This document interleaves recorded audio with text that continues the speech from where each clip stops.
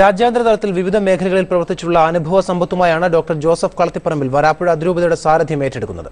അഭയാർത്ഥികൾക്കും പ്രവാസികൾക്കുമായുള്ള അപ്പോസ്തോലിക സംഘത്തിന്റെ സെക്രട്ടറിയായി വത്തിക്കാനിലായിരുന്നു ഇതുവരെ പ്രവർത്തനം. കപ്പൽ ജോലിക്കാർക്കായുള്ള സഭയുടെ പ്രത്യേക ദൗത്യത്തിലും പങ്കാളിയായിരുന്നു. രണ്ട് മാർപ്പാപ്പമാരുമായി അടുത്ത് പെരുമാറാനുള്ള സാഹചര്യവും ഇക്കാലത്തുണ്ടായി. ലോക സമൂഹങ്ങൾ പലതും വലിയ തലവേദനയായി കാണുന്ന അഭയാർത്ഥി പ്രവാഹത്തെ തികച്ചും മാനുഷിക പരിഗണനയോടെ സമീപിക്കുന്ന ഫ്രാൻസിസ് മാർപ്പാപ്പയുടെ കീഴിൽ അവരുടെ അജപാലന ദൗത്യമെന്ന വലിയ ചുമതലയാണ് ഡോക്ടർ കളത്തിപ്പറമ്പിൽ നിർവഹിച്ചു പോകുന്നത്. അഞ്ചു വർഷത്തിനു ശേഷം തനിക്കായി സഭ കരുതി വെച്ച പുതിയ ചുമതലയെക്കുറിച്ച് പോപ്പിൽ നിന്ന് തന്നെ നേരിട്ടറിയാൻ ഭാഗ്യമുണ്ടായി വരാപ്പുഴയുടെ പുതിയ ഇടയന്. അങ്ങനെയാണ് ഇന്ത്യ സന്ദർശിക്കാനുള്ള പോപ്പ് ഫ്രാൻസിസിന്റെ ആഗ്രഹവും വെളിപ്പെട്ടത്. പരിശുദ്ധ വരുമെന്ന് രണ്ടു പ്രാവശ്യം ആവർത്തിച്ച് പറയുകയുണ്ടായി.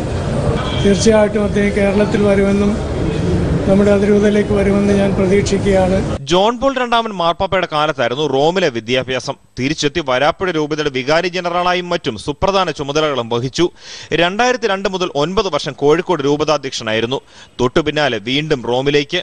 രണ്ടായിരത്തി പതിനൊന്ന് മാർച്ചിൽ പോപ്പ് ബെനഡിക്റ്റ് ആണ് അഭയാർത്ഥികൾക്കും പ്രവാസികൾക്കുമായുള്ള പൊന്തിഫിക്കൽ കൗൺസിൽ സെക്രട്ടറിയായി വിദേശ ചുമതല നൽകിയത്. ഇക്കാലയളവിലാണ് രാജ്യാന്തര സമൂഹങ്ങളുമായി ബന്ധപ്പെട്ട് പ്രവർത്തിക്കാൻ അവസരമുണ്ടായത്. ബെനഡിക്റ്റ് പാപ്പ സ്ഥാനമൊഴിഞ്ഞ ശേഷം പോപ്പ് ഫ്രാൻസിസിന് കീഴിലും അതേ ചുമതലയിൽ തുടർന്നു.